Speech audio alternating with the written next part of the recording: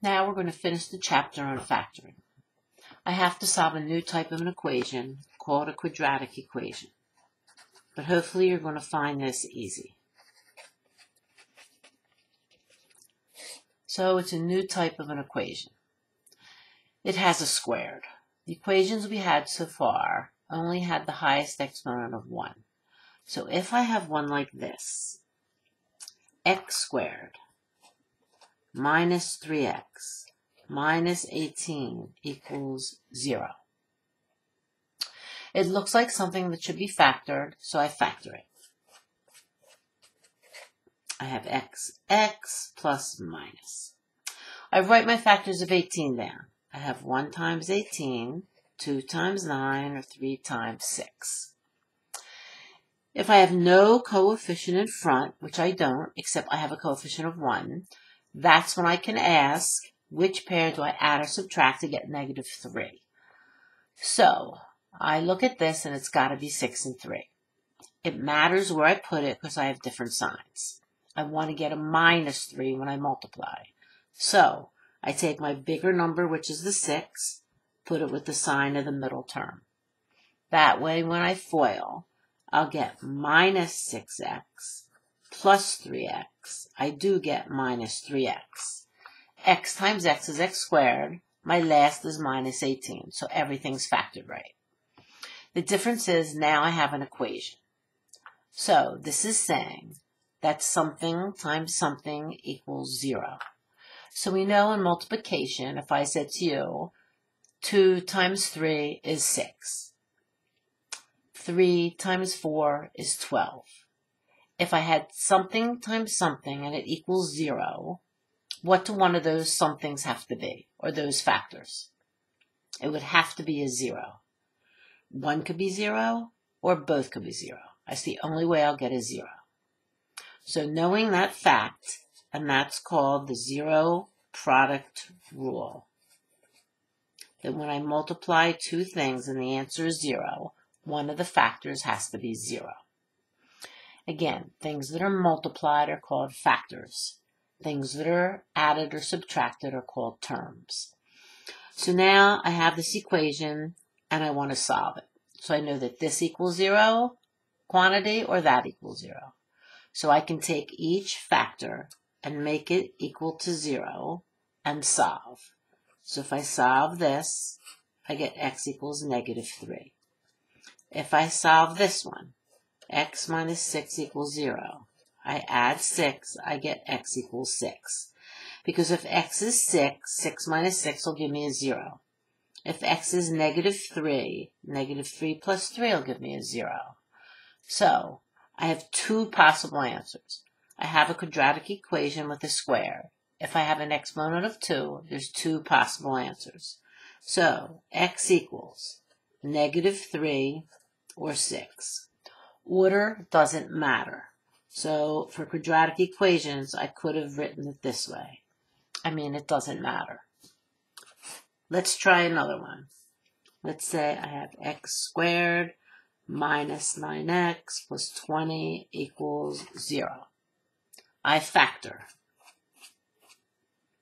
x, x minus minus. It's either 1 times 20 2 times 10, or 4 times 5. Again, I have no coefficient in front, so I ask which pair, if I add or subtract, do I get a 9? Has to be 5 and 4. If I check by FOIL, x times x is x squared. Minus 5x minus 4x gives me minus 9x plus 20. I have it factored right. But now what's different is this is an equation. I want the values of x that makes this true. So I take each factor, x minus 4, set it to 0. Solve the equation. I get x is 4.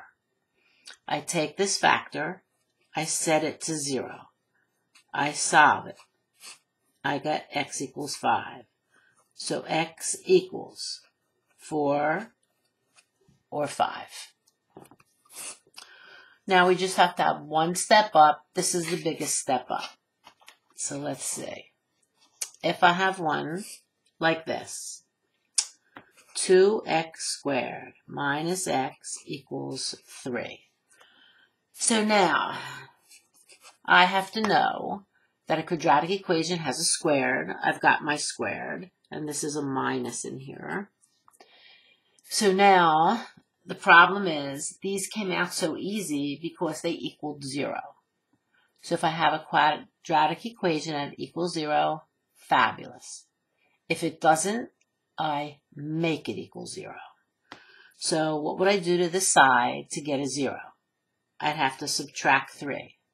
What I do to one side, I do to the other side. So I'm left with 2x squared minus x minus 3 equals 0. So let's have our steps to solve a quadratic equation.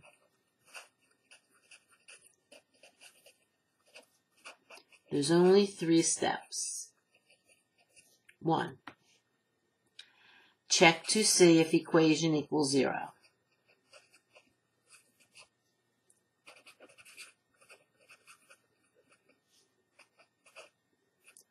If not, make it equal zero.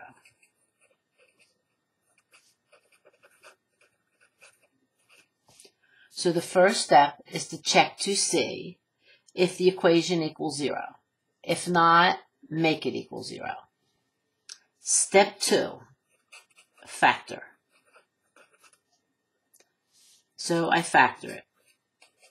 This one has a coefficient in front by trial and error. X, X, you have to know it's plus minus. It has to be 2 and 1. It has to be 3 and 1. But they have to be in the right spots to get a minus 1. So I'll put my 3 here, my 1 here. Notice if I leave it like this and I FOIL, a minus 2x plus 3x will give me a plus 1x. I want a minus, so I'm off by a sign.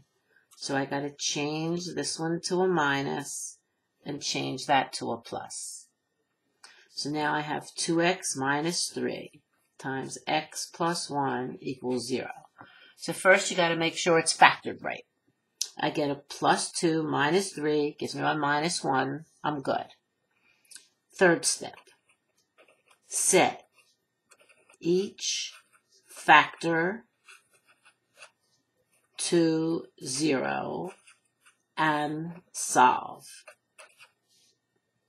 So, I have 2x minus 3 equals 0. I have x plus 1 equals 0. I have to solve these equations. So I add 3. I get 2x equals 3. Divide by 2. So x is going to be 3 halves. I'm over here, I subtract 1. So x equals negative 1. So my solution, x equals, doesn't matter which one I write first, minus 1 and a positive 3 halves. So they take a little practice. Good luck with Connect.